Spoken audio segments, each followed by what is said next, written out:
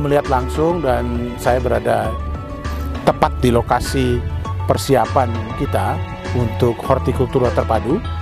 Seperti saudara-saudara lihat sekalian, sangat baik, ya, luas sekali. 22 hektar akan kita buat menjadi pencanangan. Saya lihat alat-alat berat sudah masuk. Sekarang pada tahap pengolahan lahan.